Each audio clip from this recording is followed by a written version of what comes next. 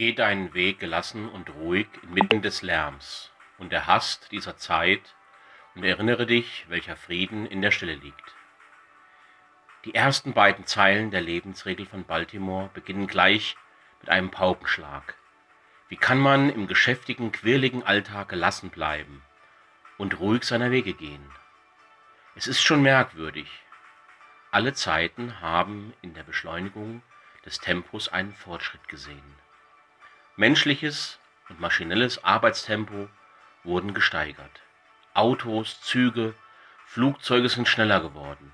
Mit rasanter Geschwindigkeit werden Menschen, Waren, Nachrichten von einem zum anderen Ort befördert.